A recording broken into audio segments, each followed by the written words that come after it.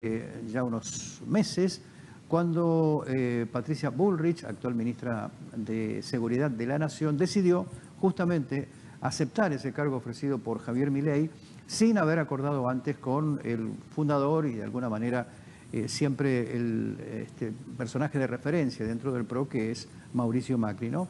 Esto ya comenzó a generar rispideces entre ambos sectores y por lo tanto, bueno, hoy que hubo un encuentro, una convención, la gente de eh, Bullrich eh, fue este, abucheada, fue vapuleada y se levantaron y se fueron.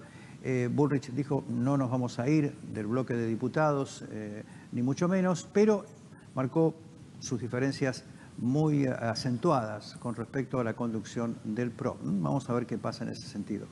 Pero ya lo tenemos a Agustín Ferrer, que está eh, con nosotros hoy temprano, como todos los jueves, ya iniciando cada edición. Así que lo saludamos. Hola Agustín, buenas noches. ¿Cómo te va? ¿Cómo estás?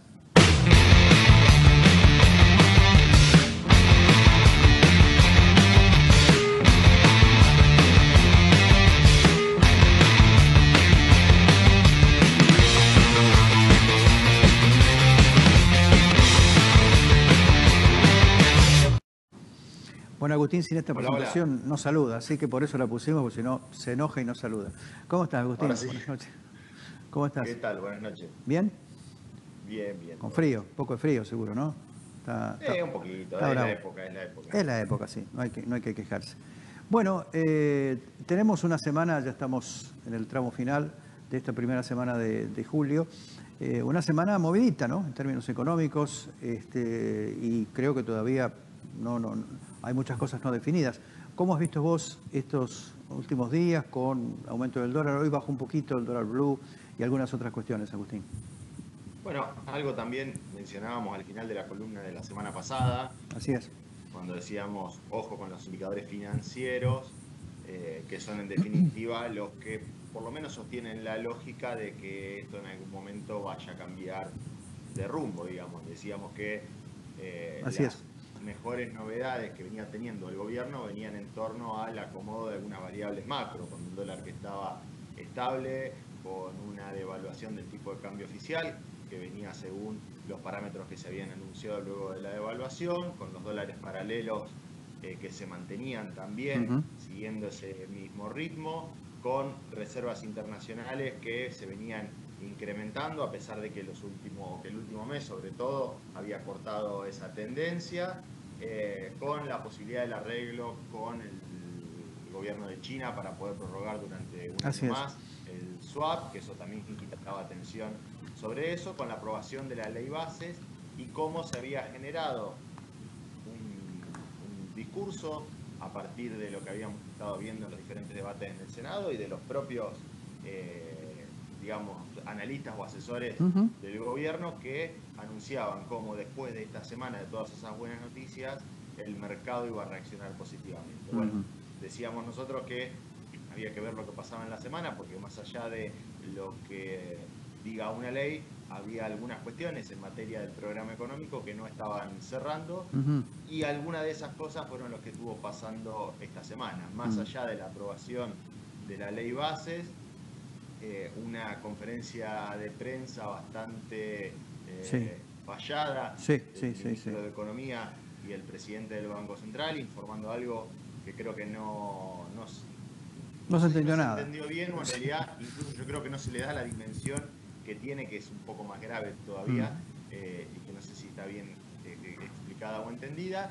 Y a partir de eso la semana tuvo una corrida del tipo de cambio que a diferencia de otros, de otros momentos, eh, por ahora no se evidencia que eso conlleve un traslado a precio y una posible eh, nuevo recrudecimiento de la inflación. Claro, esto tiene que ver también con la recesión y con la eh, imposibilidad muchas veces de llevar esto a precios, pero sí es algo, un aspecto que creo puede ser tenido en cuenta como positivo, siempre y cuando esto se mantenga con esta estabilidad. Y ahí es donde surgen los grandes inconvenientes, porque eh, el, producto de, los, de la devaluación de los dólares financieros o del incremento de, esos precios relativos en la economía, creo que tiene que ver con un, programa, un problema más grande, que insisto, no es de este gobierno, sino que viene, eh, te diría, desde el 2011, mm. que en algunos momentos fue más grave, en otros momentos se pudo calmar un poco, pero que además toma mucho más fuerza después del gran endeudamiento del gobierno de Mauricio Macri, que es la falta de dólares.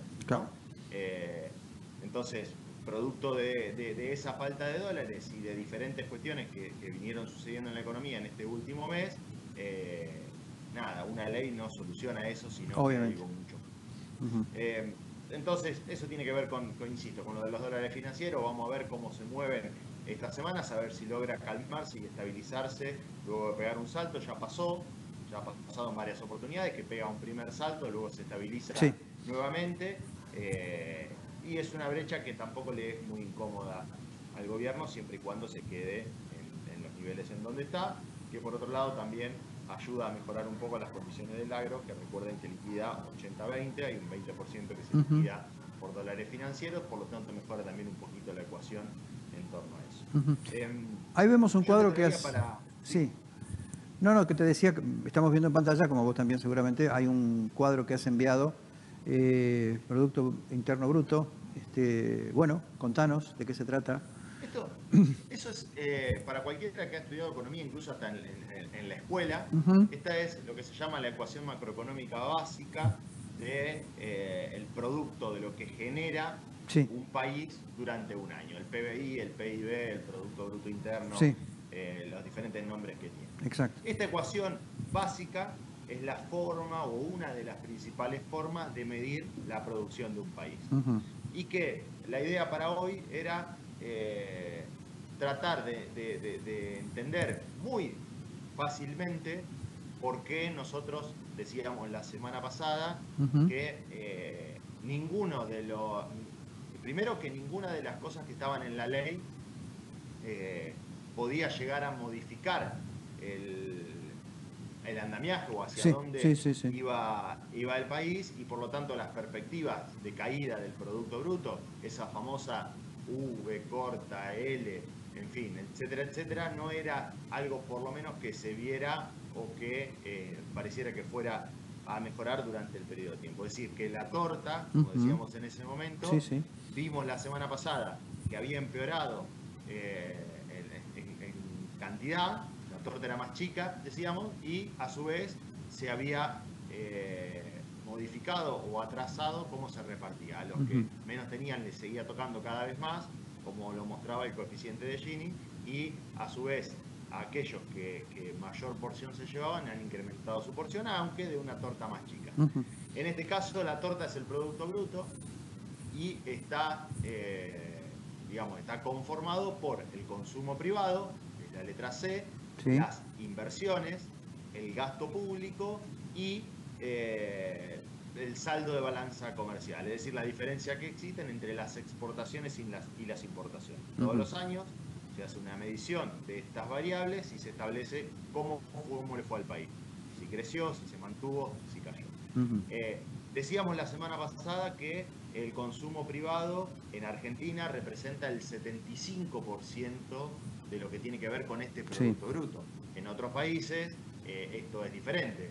En muchos casos tenés mucha más presencia del gasto público, en otros casos tenés mucha más presencia de lo que es el saldo de balanza comercial, en países que son mucho más eh, de, exportaciones, y en algunos tenés más equilibrio. En nuestro caso, el 75% del consumo privado, por eso es de, primero muy difícil de entender cómo eh, algunos gobiernos pretenden a través de la recesión generar un crecimiento en el Producto Bruto, porque si el 75% es esa letra C y, el 20, y, cae, necesitas un incremento de dimensiones impresionantes del resto de las variables para que te equipare la caída del consumo privado. Y el consumo privado cayó el 6,7% durante el mes pasado, por lo tanto, eso te marca gran parte de lo que vino siendo la caída de la economía. en principio no hay nada que establezca ni en la ley base ni en lo que viene pasando durante este tiempo que haga prever que el consumo privado, que el mercado interno se recupere.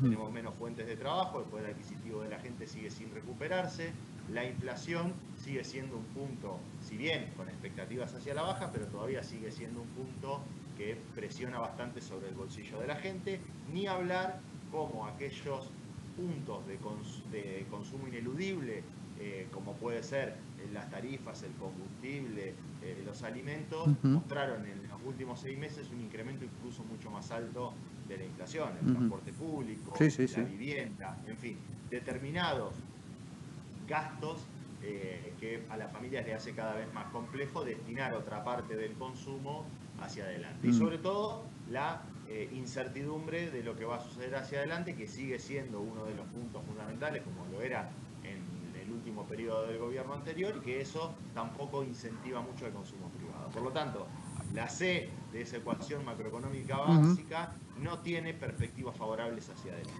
Te pregunto algo, Agustín, eh, porque bueno, uno escucha muchas veces eh, distintos medios, economistas, etcétera, y este, incluso de diferente extracción, y todos más o menos coinciden en que una devaluación es inexorable, ¿no? Es decir, es eh, casi que no. Y el gobierno se mantiene firme en que no va a dar ese paso. ¿Cuál es tu opinión con respecto a esto? Porque sabemos lo que implica la devaluación, ¿no? Este, es, ya, ya tenemos este, el lomo curtido con, con, con esas medidas, ¿no? Bueno, en realidad eh, la devaluación es producto, eh, digamos, por un lado vos tenés un fuerte, una fuerte cuestión cultural que tenemos nosotros respecto al dólar, no porque la gente sea estúpida, sino porque ya ha visto en varias oportunidades como eh, la única moneda dura después con posibilidades de ahorro ha sido para mucha gente el dólar. claro. eso culturalmente es un problema que no sucede, que no lo tiene Brasil, que no lo tiene Uruguay, que no lo tienen un montón de otros países con los que a veces eh, queremos comparar. Por otro lado, la escasez de dólares, el faltante de dólares producto de eh, diferentes cuestiones que hacen en la historia argentina. En varias oportunidades hemos tenido uno de esos problemas. Eh, el endeudamiento, el gran endeudamiento en dólares que cuando logramos medianamente acomodarnos, nuevamente viene una ola de endeudamiento feroz y que produce que la necesidad de que esa diferencia entre las exportaciones y las importaciones sea cada vez más grande, no solo para el desarrollo del Producto Bruto Interno, sino también como fuente fundamental para el crecimiento de la actividad en general y del pago de la deuda eh, generada o que se viene generando en diferentes procesos. Entonces, la verdad que si vos ves que tu producto cae, que las exportaciones eh, no parecen ser lo que se pensaba que fuera, por precios internacionales, por el tipo de cambio, eh, por lo que sea. Y si a su vez eh, estás teniendo problemas con, la, con la producción, te genera la verdad que hacia, bueno, y una inflación, insisto, que si uno se pone a pensar, cuando hubo la primera devaluación grande que llevó el tipo de cambio oficial a mil pesos, que luego a 900, 800 y pico, algo así, y que luego después se mantuvo en torno a casi estable al 1,5 o al 2% mensual, con una inflación que primero fue del 30 y pico, después fue del 20 y pico, después fue del 14, después fue del 9, después fue del 5, ya nuevamente estás en ese precio de equilibrio de lo que estaba en ese momento. Por lo tanto, técnicamente, si el dólar de 400 pesos anterior, según este mismo gobierno, el dólar de 400 pesos anterior mm. era una locura, estaba muy barato y había que pegar una devaluación de más del 100%, porque además así lo marcaban los dólares paralelos, que para el gobierno son los dólares reales. Si nosotros llevamos esa lógica de mm. quienes hoy tienen el país a cargo y nos encontramos con que, bueno, si aquel tipo de cambio era muy bajo y con la inflación de este tiempo volviste a los niveles de ese momento, significa que está bajo. Y si a su vez los dólares paralelos te marcan que el tipo de cambio debería estar alrededor de los 1.400 pesos, no es mi opinión, sino que es la, opinión de los que hoy toman las medidas económicas, claramente que los mercados o los que están del otro lado pueden prever que inexorablemente se necesita una devaluación para volver a llevar eso. Yo acá siempre digo que, por supuesto, depende mucho también de quiénes son y qué intereses tienen los que están del otro lado.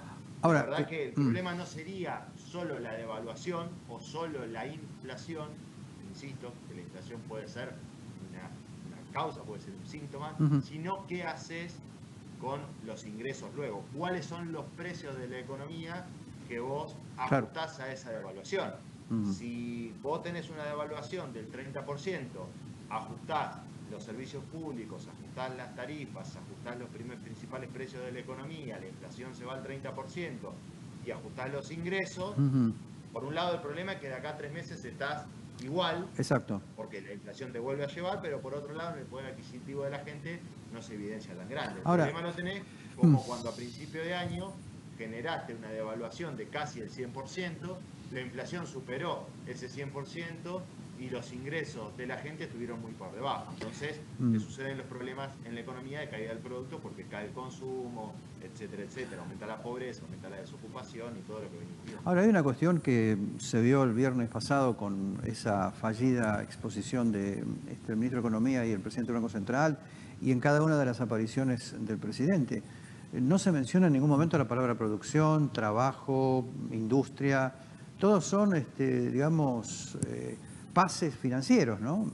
No, no, no. Hay una, hay una línea, hay una línea de pensamiento económico del ministro de Economía, que mm. recordemos es el mismo que tuvo el gobierno de Mauricio Macri, y las medidas eran muy similares y lo que expresaban era lo mismo, que lo que se cree en esta teoría económica es que primero hay que acomodar absolutamente lo financiero, generar estabilidad, eh, y que luego generando todo eso, generando baja de inflación como eje fundamental de la política económica, eh, el resto te lo acomodan las inversiones. Luego vienen las inversiones y con eso solucionas todo. Si vos recordás lo que eran eh, las primeras medidas del gobierno de Mauricio Macri, eh, generaron ese reacomodamiento y la promesa hacia adelante era ya va a venir al próximo semestre la lluvia de inversiones que nos vengan a solucionar. Lo que está pasando ahora es exactamente igual. Es decir, una fuerte devaluación, una caída de la actividad económica con la promesa de que, en este caso, el régimen de incentivo para las grandes exportaciones generen esa lluvia de inversiones que reactive la economía. Por eso es que yo traía esta, esta ecuación para tratar de entender el por qué, en una forma muy simple, eso no funciona. Porque la inversión debería crecer, eh, primero que no pasó nunca, porque si la actividad económica no genera... Eh, eh, digamos, recuperación por sí mismo y si a su vez el, país viene mostrando faltante de dólares continuos, ¿bajo qué condiciones, por más que les pongan las mejores, van a venir a producir al país? Porque ¿quién vendría a producir o quién haría inversiones en el país? Por un lado, harían inversiones aquellos que confíen en que la actividad económica del país va a generar la demanda suficiente para consumir lo que eso produzca. Está claro que no es lo que viene sucediendo. Otra opción sería el modelo extractivista, que puede decir, bueno, vamos a explotar los recursos naturales porque no nos interesa el mercado interno, sino que nuestro potencial es la exportación afuera. Ahora, para llevarte esa producción afuera necesitas dólares, porque los dólares no los trae de afuera. Y si vos tenés un gobierno que es muy frágil respecto a esos dólares y que probablemente devalúe, tampoco está generando las condiciones necesarias, porque esos proyectos son de largo plazo, para generarle estabilidad a esos proyectos afuera. Por lo tanto, es algo bastante complejo. Digo, hasta ahora son señales, pulgares arriba de eh, muchos de los principales inversores de afuera, pero la plata no está viniendo. No, no, llega, ¿no? Yo me detengo, porque sé que el tiempo es corto, mm. un segundito en tratar de eh, explicar lo más breve posible y tratando de ser lo más claro lo que pasó el día viernes. El día viernes, eh, el ministro de Economía y el presidente del Banco Central hicieron un anuncio, un anuncio que eh, básicamente tiene dos patas. Una pata que tiene que ver con reforzar nuevamente la teoría de la mm. emisión cero como un eje indeclinable y fundamental de la política económica de acá en adelante. Y por otro lado, que todo lo que son pases o letras que emite el Banco Central van a pasar al Tesoro. ¿Qué, significa esto? ¿Qué, ¿Qué, implicancia tiene sobre la actividad económica o sobre todos nosotros? Eh, podríamos hablar de la implicancia para los bancos, pero, pero no serían los que me estarían escuchando los que tienen más problemas actualmente. Sino que, por un lado, lo que se está diciendo es eh, los intereses de los pases o de esas letras, que es la gente va al banco, pone su plazo fijo, los bancos ese dinero se lo dan al Banco Central o lo prestan a la gente o a las empresas o se lo dan al Banco Central. Y el Banco Central le paga unos intereses. Cuando esos intereses o cuando esos bases están en manos del Banco Central, el Banco Central tiene la potestad de emitir dinero para pagarlo. Sí. En este caso, el Tesoro no tiene esa posibilidad, el Tesoro no emite. El Mm. Tesoro, por lo tanto, lo que debería hacer es generar los recursos o los ingresos genuinos para devolver ese dinero y para pagar los intereses. Eso está dentro de lo que es el balance del Tesoro, dentro del apartado de gasto financiero. Hemos dicho acá en varias oportunidades que el- el- la ecuación del tesoro o de la economía de un país son los ingresos menos los egresos. El, el ingreso por parte de los impuestos, de la actividad económica, de lo que va generando, y los egresos por parte del gasto público. Sí. Y a su vez, una columnita, una tercera columna, que son los gastos financieros y lo que te da Mm. el superávit eh, fiscal, que es el que también anuncia el gobierno. O sea, el gobierno está diciendo, con los recursos genuinos que tenemos, nosotros tenemos que pagar todo esto. Mm. Ya el Tesoro no va a pagar los intereses porque no se va, perdón, el Banco Central no va a pagar los intereses porque no va a emitir, Mm. lo va a pagar el Tesoro. Si lo va a pagar el Tesoro, esto significa que va a tener que o aumentar los ingresos o reducir el gasto público, porque la tercera columna, que Más es el todavía. gasto financiero, se va a incrementar. Más todavía. Claro. O en todo caso, o en todo caso, como ya sucedió cuando estaba Sandleri en el Banco Mm. Central en el 2018, reperfilar esos bonos, es decir, no te los puedo pagar porque no generé los ingresos suficientes, entonces te lo pateo hacia adelante. Entonces, lo anunciado, la verdad que genera mucha incertidumbre hacia adelante. Porque lo que está diciendo es, encima con los datos actuales, que el ga- el- los ingresos fiscales en términos reales se cayeron casi un 15% producto de la caída de la actividad económica. Entonces, los ingresos cayeron y le vas a sumar más gastos. No te queda otra que seguir ajustando el gasto público. Y ajustar ese gasto público de la forma que lo viene haciendo el gobierno es seguir ajustando jubilaciones, paralizar nuevamente la obra pública. Todo esto que es lo que viene pasando hacia adelante. Por lo tanto, lejos de ese segundo semestre de recuperación, casi con seguridad te podría decir que para el semestre que viene esa recuperación o ese No estancamiento, por lo menos en la actividad económica, no viene, sino que por lo contrario se augura una mayor eh, caída respecto de eso. Así lo muestran también los números que se conocieron en junio respecto a la caída abrumadora en automotrices, en las cementeras, en la construcción, en todos los índices que quieran. Agustín, te propongo mm, el- la próxima semana mm, charlar un poco sobre lo que se va a firmar el- el 9 de julio, ¿no? Este, este pacto que, si bien es una expresión de deseos, pero, eh, en fin, servirá como para ir perfilando este, esta, esta segunda etapa del primer año de gobierno de Milei, ¿no es cierto?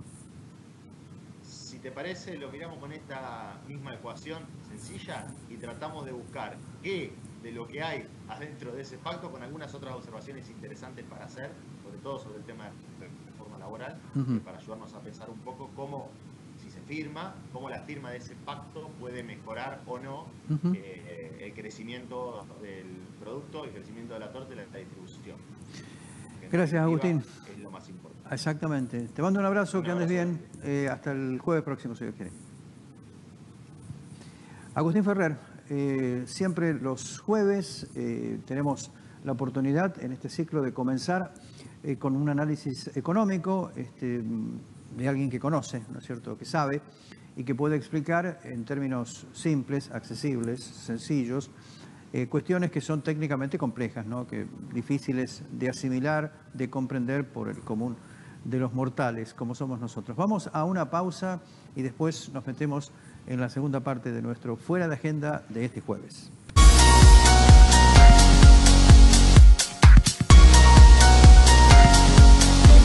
Cooperación Seguros.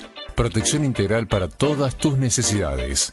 Seguros personales, empresas y emprendimientos agrícolas. 25 de mayo 530. Venado Tuerto. Padri, sinónimo de cuidado personal. Como siempre, los mejores productos, herramientas y accesorios para el profesional y el público en general. Los esperamos en nuestra nueva dirección, La Prida 154. Padri. Sanatorio San Martín Venado Tuerto. Desde 1950, siempre a la vanguardia en prestaciones médicas en toda la región. Electro Avenida. Todo en artefactos y materiales eléctricos e iluminación. Lisandro de la Torre y Maipú. CETIR. Centro de Medicina Nuclear para Venado Tuerto y la región. Chacabuco 1046. El accesorio imprescindible para cualquier prenda es un perfume. Perfumería Silvina. Belgrano 740, Venado Tuerto. Muy barato. Supermercado mayorista de alimentos, bebidas y artículos de limpieza. Ruta 8 y 9 de julio. Balanzas Hook. La última tecnología en herramientas y equipos para el desarrollo agroindustrial.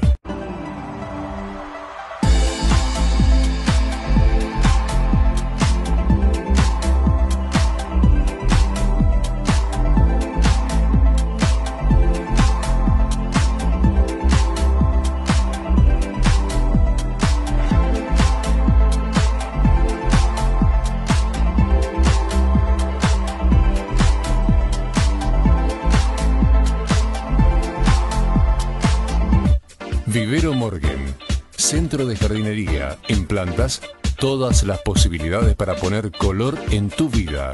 Lisandro de la Torre 755. Avalse SRL, productores de seguros para usted, su familia y sus pertenencias. Alvear 601, Venado Tuerto.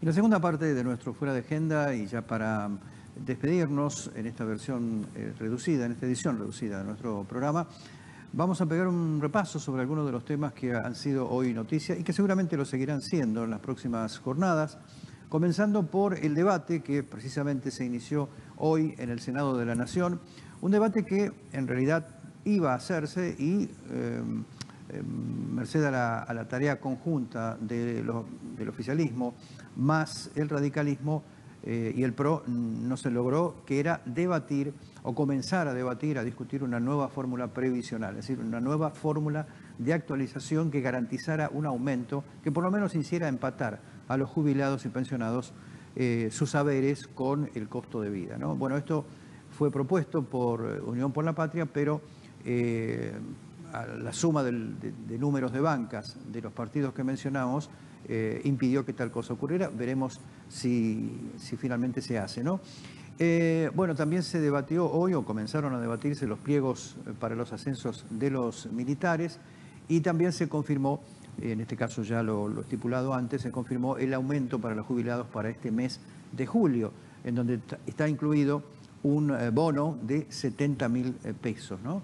Luego una, un repaso, recién lo hablaba este, Agustín, ¿no? un repaso por los datos de la gran recesión económica que está viviendo la Argentina hoy en prácticamente todos los, rubros, este, lamentablemente ya con el cierre de numerosas, numerosas empresas, sobre todo mm, pequeñas y medianas. Eh, hoy, por ejemplo, se conoció la inquietud de los comerciantes de Rosario ante el cierre de muchos comercios en esa, en esa ciudad. Eh, una, una suerte de advertencia porque se está viendo mucho eh, un incremento notable de la automedicación. La gente que eh, sin concurrir al médico eh, va a la farmacia, compra medicamentos y los toma, muchas veces poniendo seriamente en riesgo su salud. Está aumentando mucho eso en nuestro país. Y como título final, la disconformidad de los docentes de AMSAFE con los números que está manejando el gobierno provincial para eventualmente Mm, se anunció que van a llamar a paritarias en las próximas jornadas, en los próximos días. Bueno, ellos dicen que los números que maneja la provincia no están acordes, para un eventual aumento en la paritaria, no están acordes con el verdadero aumento de los costos de la inflación para los docentes. Todos estos títulos comenzamos a recorrerlos ahora mismo.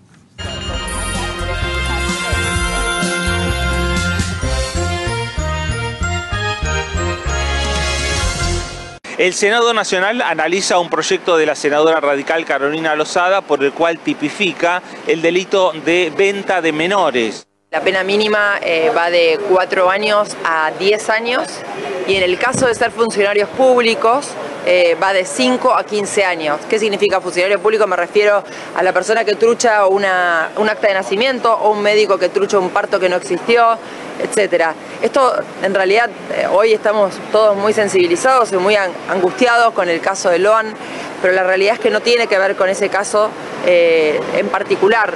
Es algo que, como les decía a todos, presenté en el año 2022 y en este momento en Argentina hay 1.777 búsquedas activas de chicos. Pero por el otro lado, la sesión está cruzada por otro tema central, la movilidad jubilatoria que quiere tratar Unión por la Patria. Lo que envió diputados prácticamente hace un mes, para que es el tema de la actualización del sistema previsional, para nosotros es urgente por lo que está pasando en materia de precios. Entonces, para no quedarnos atrasados, certificar que para julio un jubilado gane este, una mínima de 300 mil pesos, por lo que vale hoy la canasta para no ser pobre y lo que vale la canasta para no ser indigente. Todos los salarios tenemos que pensar en nivelar para arriba, el tema también los docentes, el salario de los jubilados, cuando nosotros subimos estaba en 90 dólares, hoy te diría está en 200 dólares, no alcanza, es poco, pero bueno, estamos tratando de lograr, digamos, una eh, un equilibrio fiscal que por cierto que no es fácil eh, para nuestro gobierno en el, país realmente como lo encontramos oportunamente. A partir de allí somos muy conscientes, creo que es un tema muy noble, que hay que darle importancia y me parece que no hay que tratarlo a las apuradas, hay que darle el marco de seriedad. El gobierno ha oficializado el aumento de 4,18% para las jubilaciones del mes de julio en sintonía con la inflación de mayo. Ustedes saben que cuando quedó aprobada la nueva movilidad jubilatoria se toma en cuenta la inflación de dos meses atrás, por lo cual, mayo rige para las jubilaciones de julio. Con esto quedó que la jubilación mínima será de 215.580 pesos con 82 más el bono de 70 mil pesos que también el gobierno confirmó, con lo cual ningún jubilado va a recibir menos de 285.580 pesos con 82 centavos. Hablamos de jubilados del ANSES, ¿no? Claramente. Eh, después, el haber máximo será de 1.450.654 con 81. También hay que decir que la pensión universal para el adulto mayor PUAM ascenderá a 242.464,66 y también hay que sumar el bono de 70 mil pesos, con lo cual queda en 172.000, eh, no, perdón, 242.464 es el monto final con el bono de 70 mil pesos incluido. Esto es la PUAM. El piso de la caída, fíjate vos qué es lo que pasó con la venta de despacho de cemento, ¿sí? Y la producción automotriz. Menos, eh, menos del 7,5%, ¿sí? Esta fue la caída de despacho de cemento para el mes de junio. Y fíjate qué pasó con la producción automotriz, ¿sí? Una caída del 40% a nivel interanual. Esto ya te lo veníamos te lo veníamos advirtiendo prácticamente todas las fábricas eh, vinculadas al sector automotriz tuvieron paradas técnicas para poder reacomodar la producción, para poder también reacomodar eh, la nómina de empleados, ¿sí? También se han llevado adelante suspensiones. Bueno, esta es una realidad que está viviendo el sector automotriz, ya te digo, una caída del 40% en la producción y la pregunta que se hacen, ¿no? Desde el sector es efectivamente cuándo va a comenzar la recuperación. Está bien que te dicen hay algunas cuestiones eh, que no nos competen, como por ejemplo la falta de importaciones desde Brasil por las inundaciones, que nos complica la producción, pero la realidad es que lo que está pesando fuerte es la caída en la actividad económica. Por eso, claro, parte del mercado lo redirigen a las exportaciones, pero lo que es la venta interna, por supuesto que está más que complicada. Y después, bueno, si volvemos a la pata financiera, el dólar blue cayó a los 1.405 pesos, ¿sí? Recordá que estaba en 1.430, bajó a 1.405 pesos. Es cierto que, a ver, em, no todo movimiento de mercado inquietante eh, es muerte y destrucción siempre, ¿no? Y además también hay que decir que en términos, digamos, nominales es una suba para tener en cuenta, pero en términos reales los tipos de cambio, tanto el blue como los paralelos, el, MEP eh, y el contado con liqui han subido más que lo que vimos durante estos primeros tres días de la semana. Pero lo cierto es que cuando la brecha empieza a ampliarse, ¿no? En un contexto en donde faltan dólares y el tipo de cambio no se va actualizando a la medida que el mercado busca, bueno, por supuesto que es un indicador a tener bien en cuenta para entender los ánimos del mercado. Hablando de los ánimos del mercado, que además también ayer tuvieron, eh, más allá de la baja del dólar blue y la baja del contado con liqui y, de, y del dólar MEP, tuvieron un comportamiento variado. Las acciones recuperaron un poco, los bonos siguieron cayendo, el riesgo país todavía está por encima de los 1.500 puntos. Pero digo, hablando eh, de los ánimos del mercado, ayer el ministro de Economía, Luis Caputo, dio una señal. La presentación de los números del presupuesto, ¿sí? ¿A cuánto va a terminar el dólar según eh, las proyecciones oficiales para fin de año? ¿Cuál va a ser la inflación? ¿Se va a eliminar el impuesto país, efectivamente? ¿Pero cuándo? Bueno, recién a fin de año. Eso también incluye lo que ya dijo Javier Milei, que es la disminución de este impuesto entre agosto y septiembre. Si se elimina el impuesto país, pero el tipo de cambio sigue corriendo el 2%, ¿eso es sostenible? ¿Pueden ir de la mano una baja de la inflación con un tipo de cambio corriendo el 2% cuando el mercado te está pidiendo que lo actualices? ¿Cuándo se va a venir la recuperación en 2025? en Argentina crece el número de personas que ante un dolor, una patología, eligen automedicarse. Antibióticos, antiinflamatorios también son algunos de los medicamentos más elegidos. Todas las vitaminas, los suplementos, los energizantes no han demostrado ninguna función y sin embargo la publicidad es muy intensa, induce a la gente a comprar estas cosas y algunos podrían ser dañinos. Eh, por otro lado también pasa lo mismo con las leches maternizadas que son mejores, que van a hacer crecer más rápido al niño, madurar el cerebro más rápido. No hay nada de eso, pero sin embargo son argumentos que utiliza la industria para promocionarlos en todos los medios de comunicación. Lo primero de todo es que no está buena la automedicación en general. Claramente si uno un día le duele la cabeza puede tomar un analgésico, si un día tiene un dolor abdominal o o dolores menstruales puede tomar un antiinflamatorio. Eso está bien, no vamos a ir al médico por cada cosita, por aparte el sistema de salud no daría abasto. Pero para mí el consejo más importante es no tomar ningún remedio en forma crónica si no ha sido recetado por el médico, estar atento a los síntomas y fijarse de no enmascarar algunas situaciones que podrían ser y hay situaciones en las cuales no hay que automedicarse. Si uno tiene fiebre alta, no se tiene que automedicar. Si tiene dolor abdominal y fiebre, no se tiene que automedicar. Cuando uno toma la inflación acumulada del Instituto Provincial de Estadística y Censo, 71% de inflación. Cuando uno analiza los aumentos salariales, hubo un 18% y ahora un nuevo 18%, de los cuales de ese 18% se ha percibido ya eh, un 14%.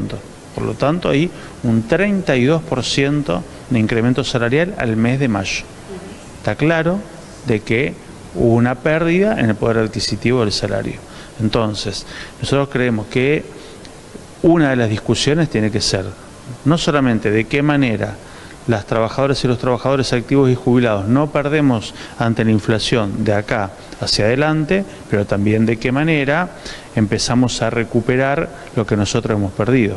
Hemos perdido por las propuestas salariales, todavía hay una deuda del gobierno del 22,4% del mes de enero que no ha sido saldada. Estamos reclamando la devolución del día de paro del 8 de mayo, un paro que fue descontado de manera ilegítima porque uno de los reclamos es el incumplimiento de la propia patronal de la paritaria 2023, donde nosotros entendemos que hay que discutir las condiciones de trabajo, para eso hay que dar marcha atrás con el presentismo, nosotros entendemos que hay que discutir sobre el modelo educativo para ver de qué manera vamos fortaleciendo los procesos de enseñanza-aprendizaje, tiene que haber una posición clara de las autoridades eh, ministeriales en contra de cualquier reforma del sistema previsional que impliquen eh, pérdida de derechos para los trabajadores, pero no solamente eso, sino también que van a implicar peores condiciones para poder enseñar o para poder aprender. Yo pregunto, ¿hay calidad educativa con docentes mal pagos? ¿Hay calidad educativa con el presentismo? ¿Hay calidad educativa cuando se intenta que un maestro de 65, 68 años esté dando clase a nivel inicial? Está claro que no. Hubo un compromiso electoral, ¿no? Nosotros decimos que hubo un contrato electoral un contrato electoral que se nos propuso a todos los santafesinos y a todas las santafesinas, que era de que los trabajadores no íbamos a perder ante la inflación, que los trabajadores íbamos a tener cláusula gatillo, de que se iban a respetar los acuerdos paritarios. Esas tres cosas no están sucediendo. Me parece que lo que debería eh, proponer el gobierno de la provincia y discutir en el ámbito paritario es algo que vaya en línea con ese contrato electoral. ¿Cuál es el tiempo máximo que ustedes consideran para ser citados a, negociar? No, nosotros decimos el mes de julio tiene que ser un mes que nos encuentre discutiendo y antes que finalice el mes tiene que haber una propuesta en donde eh, a partir del mes de julio empecemos a tener nuevas recomposiciones salariales.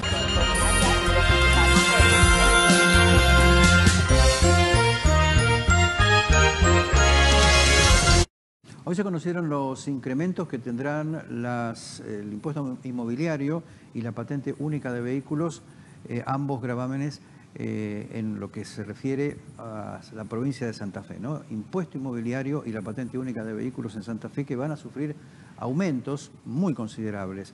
Las cuotas 4, 5 y 6 del impuesto inmobiliario urbano y las eh, cuotas 3, 4 y 5 de las patentes van a subir el 112% casi el 113%, y el inmobiliario rural tendrá un incremento del 131,6%. El porcentaje es sobre el valor de la cuota anterior. Un dato a favor es que los contribuyentes que efectuaron el pago de todo el año en febrero no deben pagar este aumento del segundo semestre. Nos estamos despidiendo, nosotros volvemos mañana para cerrar esta semana, primera semana de julio. Eh, con eh, los libros, como siempre, una propuesta para acercarse al mundo de los libros, como hacemos todos los viernes, más toda la información general. En un, ratito nomás llega Noticias en HD, edición central, con Emanuel Fuertes, así que no se vayan, quédense, quédense en Ver TV. Gracias por acompañarnos. Hasta mañana, si Dios quiere. Una producción de Multimedio GS.